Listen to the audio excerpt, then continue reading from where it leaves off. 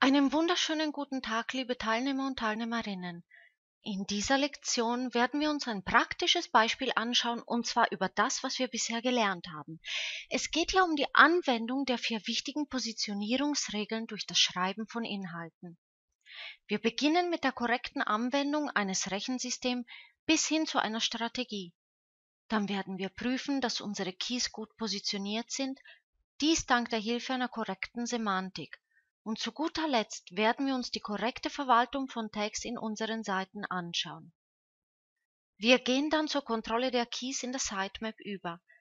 Genauso werden wir die korrekte Anwendung der Usability-Regeln und deren Kapazität überprüfen. Wie Sie wissen, die Kapazität liegt bei einem WordPress wie diesem bei maximal 500 Keys. Wir haben ein WordPress ausgesucht und kein Engine, weil WordPress sehr oft verwendet wird. In diesem Falle haben wir uns für das Local Aromas, für das von localaromas.com entschieden, weil es hier um einen sehr konkurrenzfähigen Bereich geht das heißt um den Online-Vertrieb von Gastronomie-Touren in Italien, um genauer zu sein in Rom in der Hauptstadt. Ich möchte daran erinnern, dass die Wettbewerbsfähigkeit eines Keys sich nicht durch seine Traffic-Fähigkeit kennzeichnet, sondern durch die Anwesenheit von Mitbewerbern, die ähnliche Keys benutzen. Sie werden merken, dass in diesem Bereich die Konkurrenz sehr, aber wirklich sehr stark ist.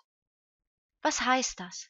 Für den Großteil von Keys gibt es große Portale wie TripAdvisor TripAdvisor oder Booking, Eating Italy und viele andere. Daher geht man meistens davon aus, dass diese großen Portale über eine SEO verfügen. Sie lassen sich bestimmt von sehr fähigen SEO-Agencies und Experten helfen. Wir werden jedoch erkennen, dass dieses einfache WordPress schon sehr viel kann. Es kann mit ihnen mithalten, auf hohem Niveau. Gehen wir nun über in ein anonymes Navigationsfenster, damit wir sichergehen können, dass die Keys uns eindeutige und klare Antworten liefern. Diese Keys können auch Sie testen. Wie werden wir in diesen Lektionen lernen? Wir suchen nach dem ersten Schlüssel gemäß unserer berühmten Aufteilung in den Feldern A, B und C, jeweils mit zwei Wörtern. Schauen wir uns das gemeinsam an. Feld A bezahlbares Essen. Feld B private Probe, private Verkostung. Feld C Rom Trastevere. In Feld A sehen wir, dass es hier, dass hier ein Objekt ausgesucht wurde, in Feld B eine Verstärkung und einen Ort in Feld C. Wenn wir nach diesem Schlüssel in Google suchen, so bekommen wir folgende Antwort.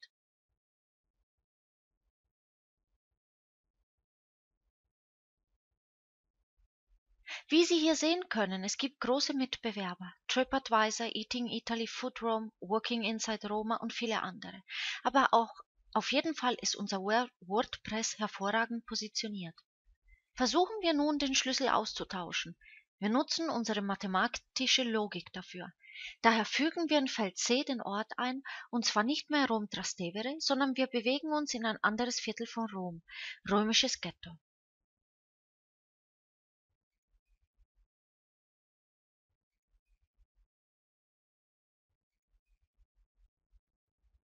Es gibt immer sehr starke Mitbewerber, aber immer hinter unserem WordPress. Versuchen wir, wieder den Schlüssel zu tauschen, geben wir eine andere Ortschaft in Rom ein. Eine berühmte Ortschaft ist Testaccio Market.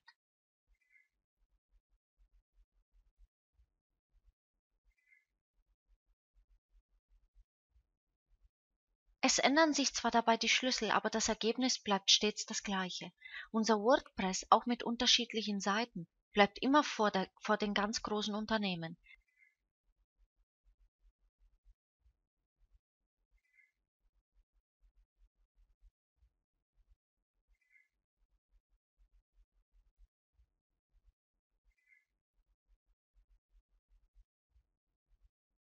Wir haben Tests durchgeführt, indem wir die Ortschaft geändert haben. Nun tauschen wir das Objekt aus in Feld A. Tragen wir Jewish Food ein.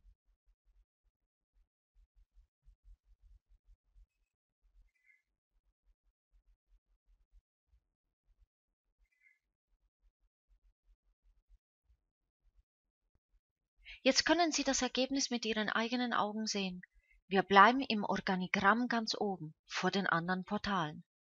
Diese Logik funktioniert. Wenn wir zum Beispiel eine andere Wörterpaarung in A eintragen, zum Beispiel Olivenöl, so bleibt das Ergebnis das gleiche.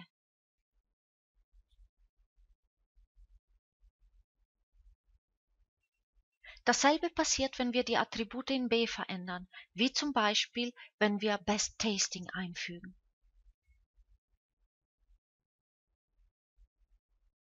Tauschen wir die Begriffe in B um und fügen Tasting Tour ein. Wie Sie sehen können, die Keys ändern sich, die Mitbewerber ändern sich, aber das Ergebnis bleibt stets dasselbe. Dasselbe exzellente Ergebnis. So können wir nun mit unendlich vielen Schlüsseln weitermachen.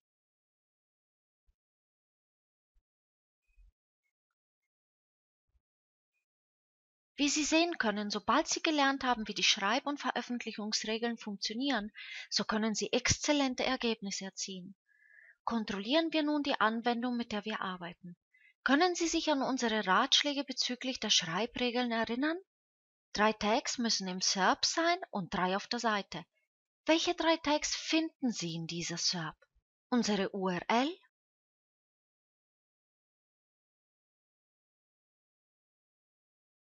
unser Meta-Title, unsere Meta-Description.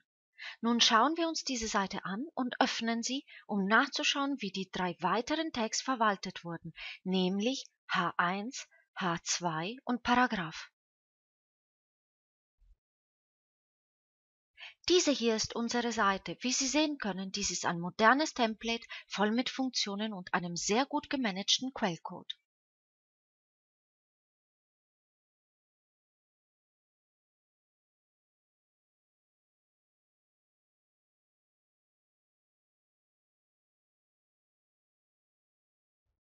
Dies ist mein H1. Wir wählen ihn aus, schauen, prüfen.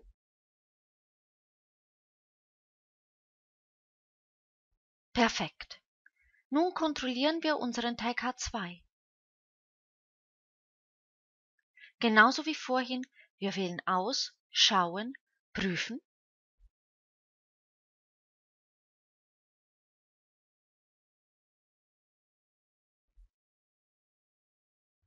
Sehr gut. Nun den Paragraphen. Wir wählen alles aus, rechte Taste und prüfen.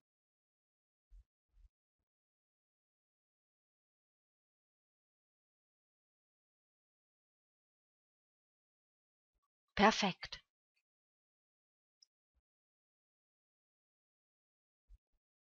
Nun schauen wir uns die Sitemap dieser Seite an. Wir tragen Sitemap XML ein nach der Domain.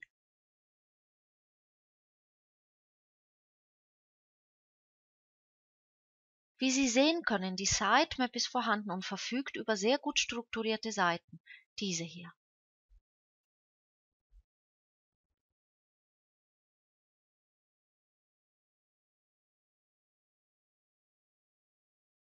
Nun müssen wir nur noch die letzten Sachen überprüfen. Wo wurde die Indexseite für das SEO-Projekt eingefügt? Bitte vergessen Sie dabei nie die Usability-Regeln. Gemäß dieser Regel müssen alle Seiten erreichbar sein, sowohl durch die Sitemap wie auch intern.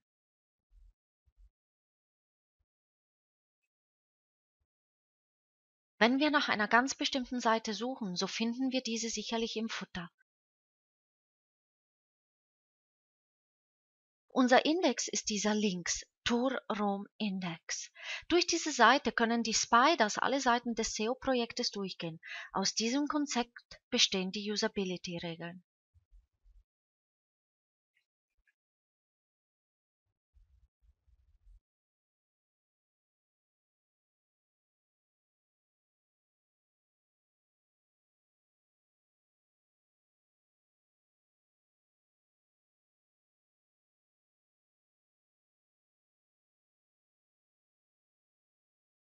Nun müssen wir nur noch die Regeln bezüglich der 500 Seiten im WordPress kontrollieren. Wir können das Ganze über DB in Google durchführen, für diese Seite durch die Taste Site. Ich trage in der Google-Suchleiste die URL der Seite Site ein und überprüfe.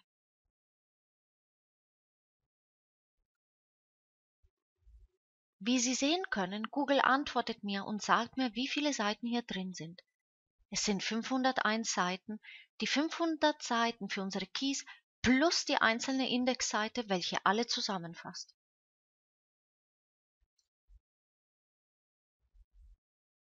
Wenn wir die Seiten durchgehen, so finden wir auch etwas komplexere Strategien im Meta-Title. Dieses Konzept gehört zur modernen SEO. Wir realisieren ein Projekt gemäß bestimmter Regeln durch das Berechnen einer Strategie.